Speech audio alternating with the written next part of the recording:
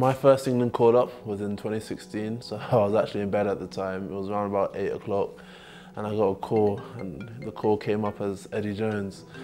So I answered it. I'm not going to try to do his accent, but he basically said, how you doing, mate? Um, you're in the Six Nations squad for this tournament. Congrats. And he just told me the hard work starts now. I was at my parents' house at the time, so um, I went downstairs. I think my brother was probably the first person I told, first person I saw.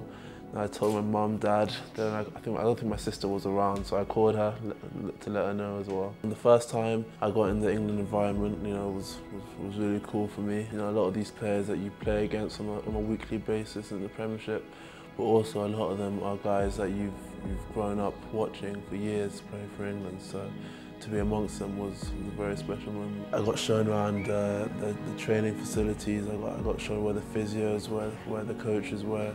The next couple of days we started trainings and I got to, got to know the boys a bit better. My debut was against Italy in Rome and I started, I started on the bench. You're, you're a bit more relaxed when you're on the bench than when you start, start the game naturally because you know you don't need to get revved up too early. And when I eventually got the nod after half time that I was going to get on, it was it was a very exciting moment for me. It was you know it was I was I was very nervous, but once you get on the pitch, focus on rugby and you focus on, doing your best to help your team.